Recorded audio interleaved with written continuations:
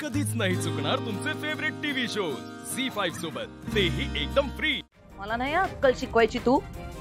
मुळात आहे ना, तुझी तितकी लायकी पण नाहीये की तू येऊन मला काहीतरी सांगशील.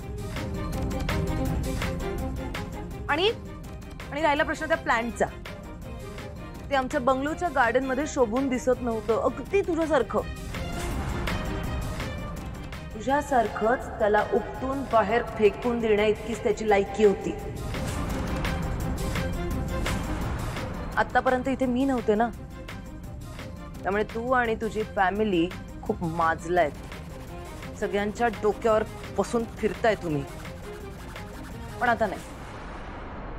आता इथून पुढे मी असं होऊनच देणार नाही. आता ना पारू? जरा नीट काळजी घे हा. कारण काय?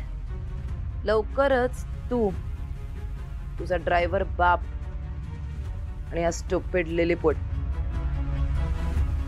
तुम्हाला सगळ्यांना मी त्या प्लांट सारखंच असं उचलून फेकून देणार आहे.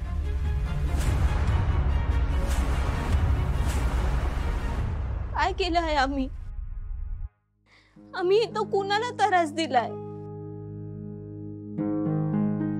दिशा मॅडम, आम्ही इथं काम करतो.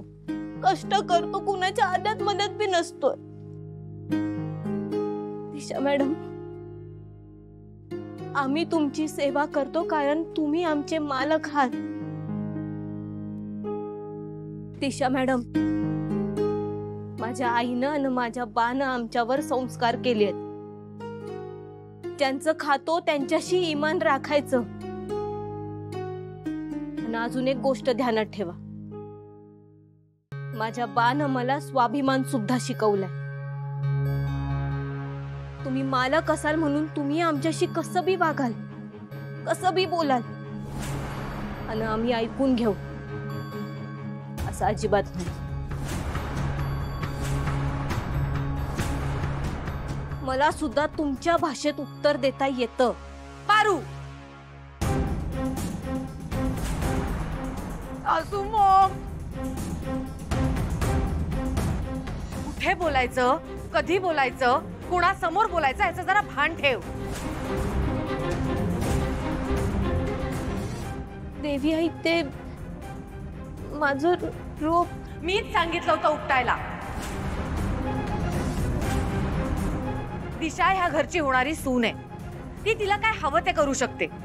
आणि तू कोण आहेस तिला जाब विचारणारी? तुझी हिंमत कशी झाली जाब विचारायची तिला?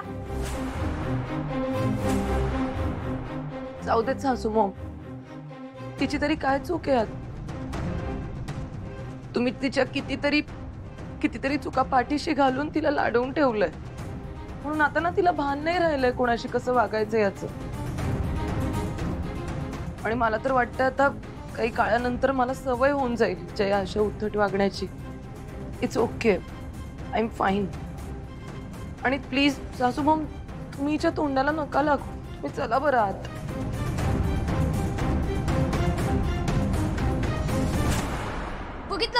तुझ्या देवी आई